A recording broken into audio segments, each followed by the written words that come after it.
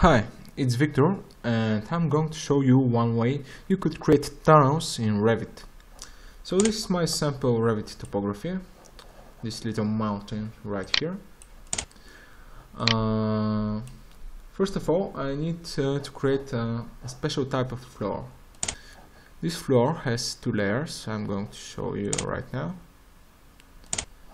Edit type, the top layer which is with constant thickness and a grass material and the bottom layer which is with a variable thickness and the earth material. So I'm going to open Dynamo now. This is the same definition I have shown to you in my previous videos. And I'm going to, ch to change this uh, element to select my topography like, like this. Now it's selected. And I'm going to choose this, this floor.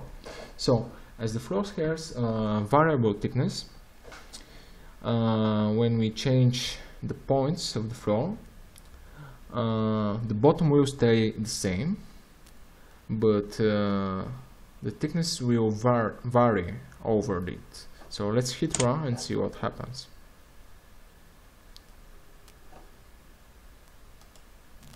let's discard the floor first. And this is it. So this is our new floor. Let's select the topography and delete it. I don't need it now. So this is my floor. The default thickness right here is 500 centimeters but uh, here it has varied the bottom is all the same. So now let's do the tunnel. I'm going to side view component model in place. Something. Something. And I'm going to select the sweep. I'm going to sketch path I'm going to use a spline you could use whatever. I just like uh, I just happen to like splines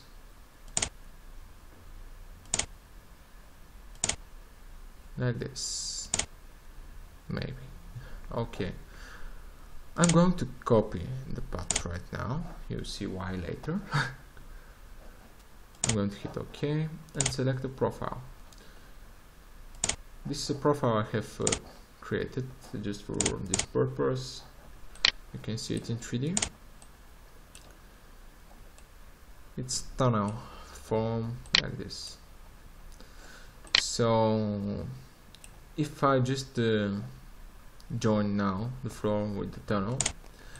This is uh, going to stay like this. As you see it now it's going to stay filled with our terrain. So to avoid that I'm going to create another sweep in the same family. So I'm going to create sweep sketch path paste align to curve view and here is our path. I hit OK now I select uh, another profile tunnel 2 I'm going to show you in 3D this is actually just uh, the inside of this tunnel like this. It's exactly to the inside. I'm going to make a parameter for the visibility of this part. Call it visible inside. Change it to instance okay. Uh, you could uh, assign material to this. You could create a parameter but for now this is it. So I click finish model. And now we have a solid tunnel here. So I'm going to join the tunnel with our floor, our topography floor like this. And next I'm going to select my tunnel and uncheck the visibility parameter of the inside. So this is it. This is our tunnel. As you can see now it's void inside. We can quickly create a section view like this go to view. Fine. And this is it uh, this is how our tunnel looks like. You can change it to shaded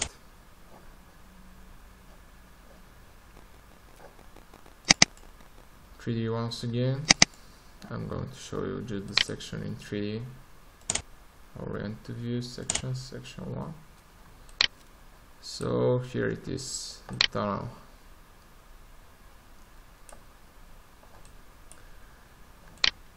okay so that's it uh, for now. Have a nice day. Goodbye